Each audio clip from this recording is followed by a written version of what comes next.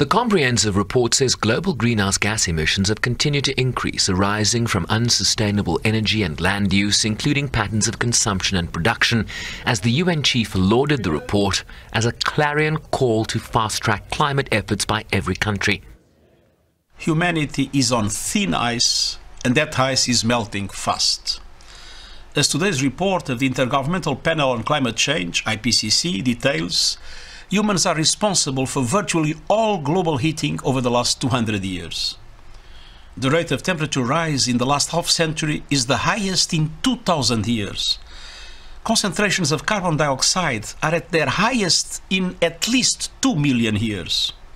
The climate time bomb is ticking. The report warns that with current nationally determined contributions that the 1.5 degrees Celsius threshold in terms of global warming would be breached this century and make it harder to limit warming below 2 degrees, which could have catastrophic implications. It starts with parties immediately hitting the fast forward button on their net zero deadlines to get to global net zero by 2050.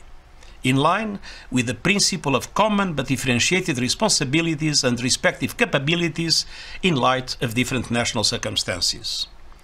Specifically, leaders of developed countries must commit to reaching net zero as close as possible to 2040, the limit they should all aim to respect.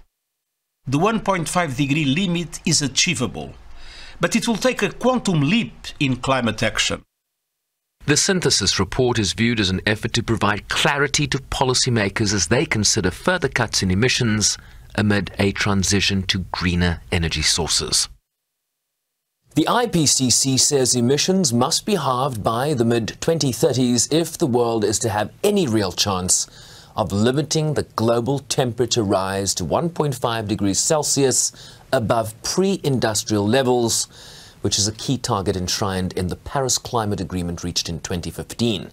The Secretary General again calling on leaders of developed countries to commit to reaching net zero emissions as close to 2040 as possible, while the leaders of emerging economies must achieve the same as close to 2050 as possible. With no new coal and the phasing out of coal by 2030 in OECD countries and by 2040 in others.